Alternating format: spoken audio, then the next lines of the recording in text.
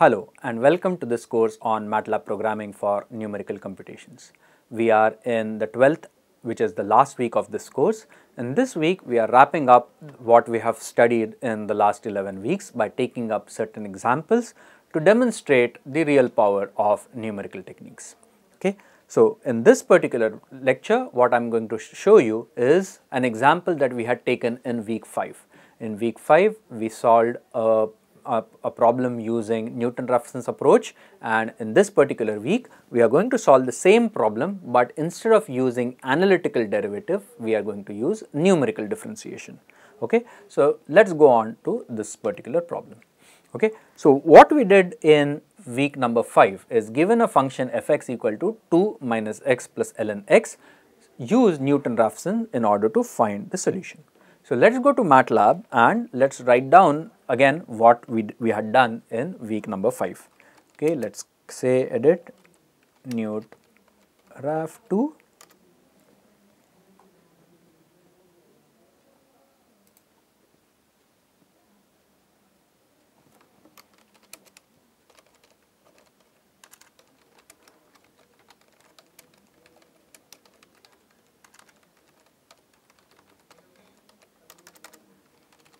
okay let's uh, function file.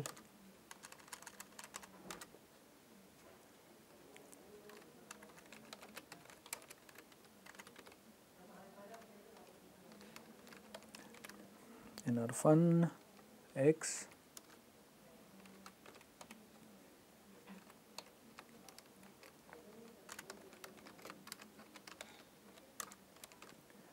Okay so this was the function let us say you wanted to make an anonymous function, okay, it is quite easy to make an anonymous function, okay. So, if you wanted to make an anonymous function of this type, all you needed to do is at x, this becomes an anonymous function and we can call this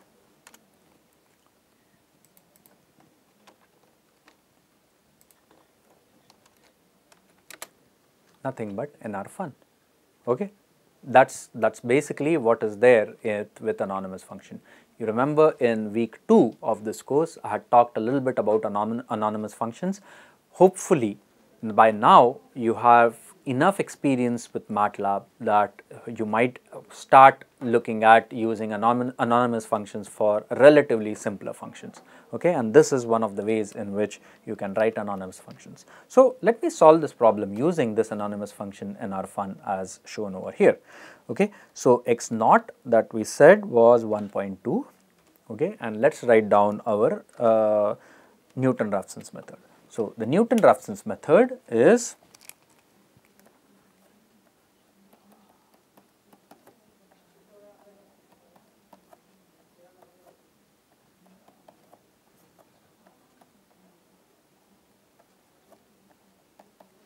okay and f dash for this was minus 1 plus 1 by x okay. So, we will do this iteratively okay. So, let us say uh, our tolerance was 1 e minus 4 I think that is what we had taken in week number 4 uh, week number 5 if I remember correctly and uh, yeah. So, my max height is equal to 50 for i equal to 1 to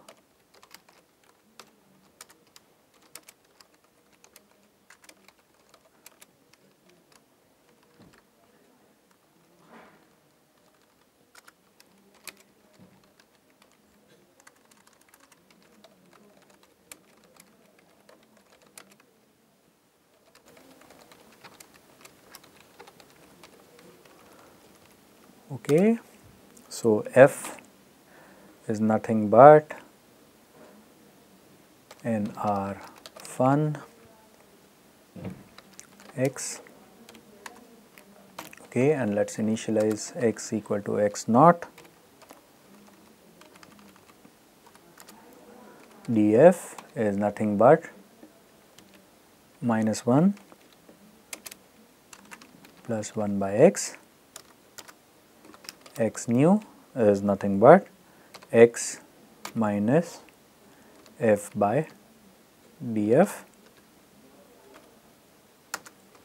r is nothing but abs x minus x nu.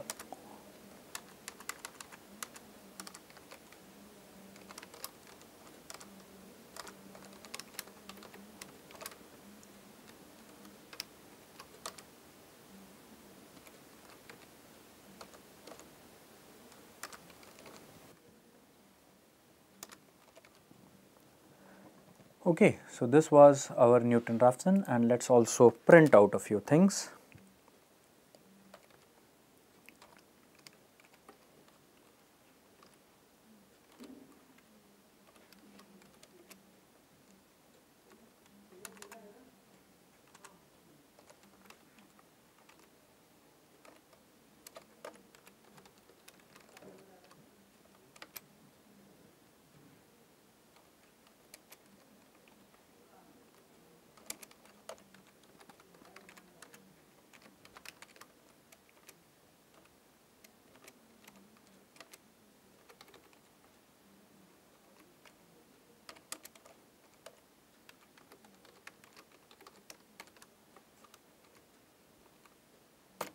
Okay, so what I am doing over here, I am just displaying at ith iteration the value of x is so and so and the value of error is so and so. Okay. So, this was the traditional Newton-Raphson method. Why could we use the traditional Newton-Raphson method? Because fx was very cleanly given and it was easy to differentiate fx. Okay. So, let us solve this uh, or let us run this and see what results we get. Okay. So, these are the 5 iterations. We started off with the initial guess of 1.2 and then in 5 steps we were able to converge within the given tolerance value. Okay. What do we do next is instead of f dash x is given to us, let us say if f dash x was not given or if f dash x was very complex to actually uh, obtain by hand okay? Then what do we do? That then we will use numerical differentiation which is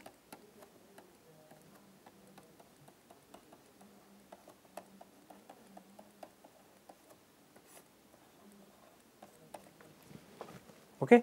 So let's do that right?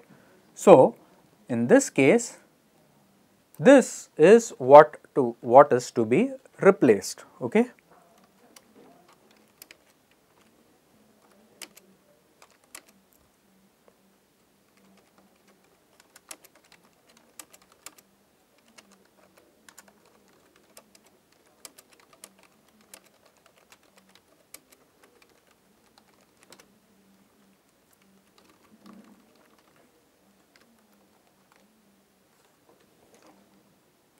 If df by dx cannot be com computed, we can use the numerical derivative.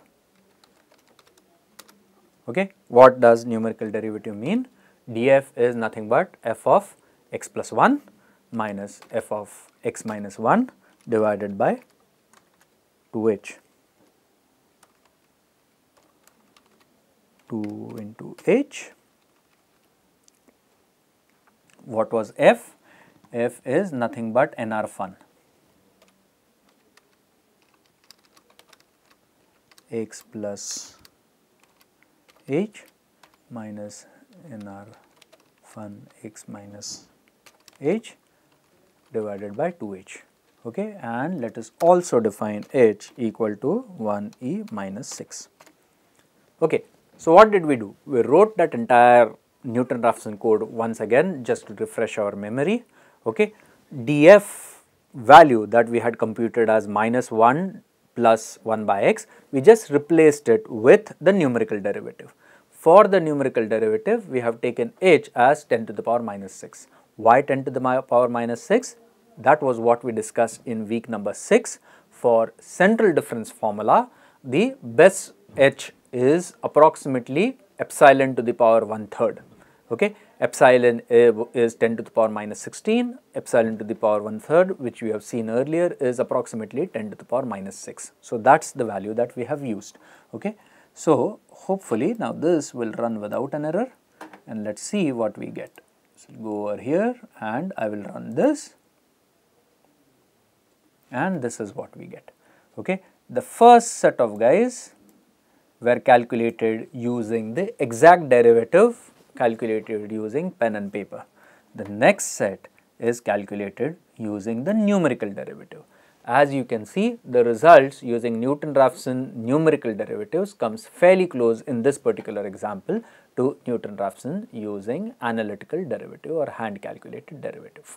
Okay. So, this is becomes one of the more powerful features of numerical techniques. Let us talk about the uh, Uh, shooting method that we did in the previous video.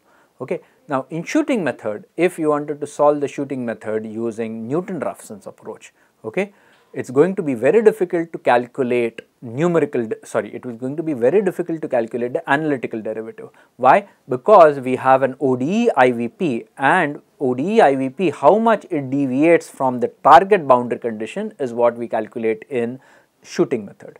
Okay. But if we were to use Newton-Raphson method with numerical derivatives, you can easily compute this. Okay. This is not the only example where, where Newton-Raphson with numerical derivative is useful.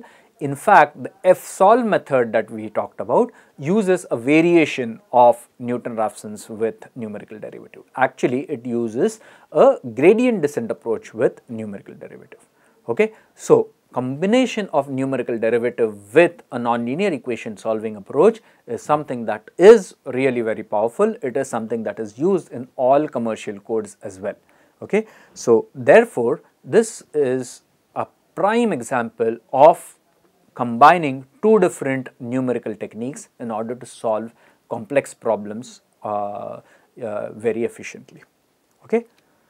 So, that is what I wanted to cover in this particular video. I come to the end of this lecture and I hope you enjoyed watching this lecture where we are trying to combine two different numerical techniques in order to solve a problem of interest as scientists and engineers.